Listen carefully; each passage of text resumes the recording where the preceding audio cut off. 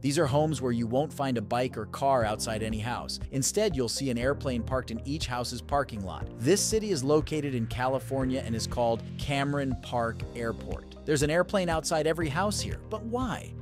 The reason is that everyone here is a retired pilot. If someone needs to go out, they don't use their car. Instead, they take their aircraft. The roads here are as wide as runways. Cameron Park was constructed in 1963, and there are a total of 124 houses here.